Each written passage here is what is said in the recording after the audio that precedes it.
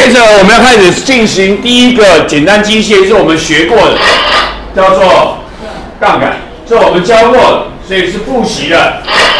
好，杠杆就可以绕着一个固定的转轴，我们称为支点转动的硬棒，我们就可以称之为杠杆。所以图中这位大哥的那根横棍子就叫做一个杠杆。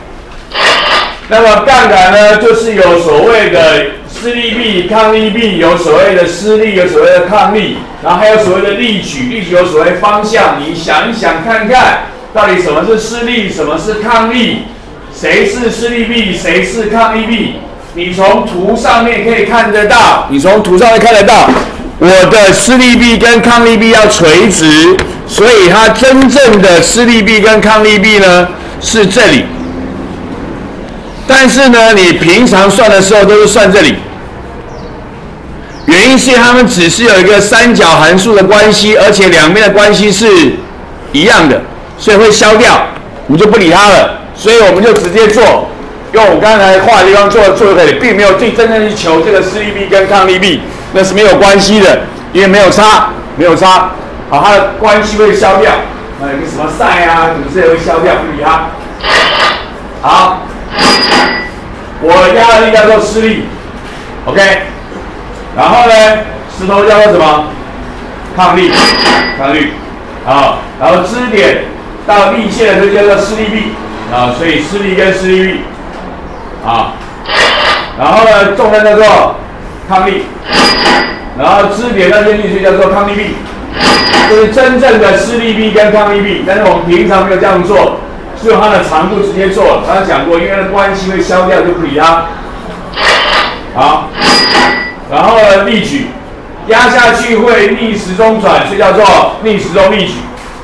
石头下去会顺时钟转，叫做顺时钟力矩。OK，好，这就是。那重点要算力矩嘛，对不对？大哥，力矩怎么算？力矩怎么算？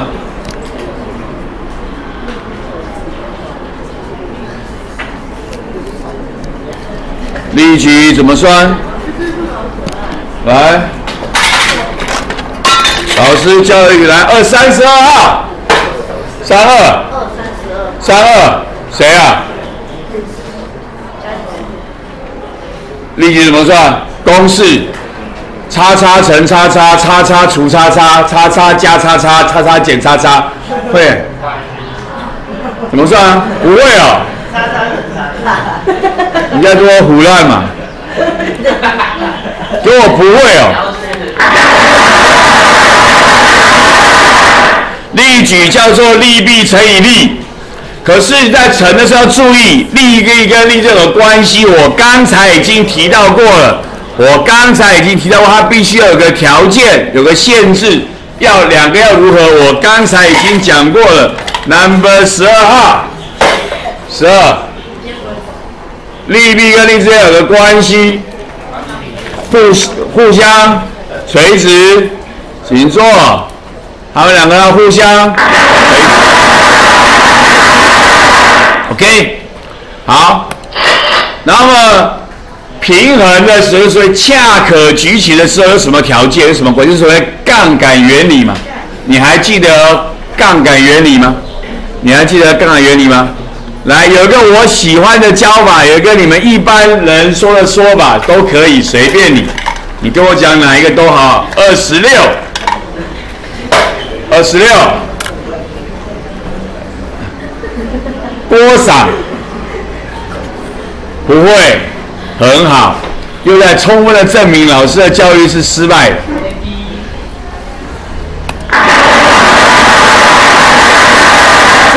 我喜欢的说法，叫做顺时钟等于逆时钟，这样子不需要，就算有三个力、四个力、五个力都可以用。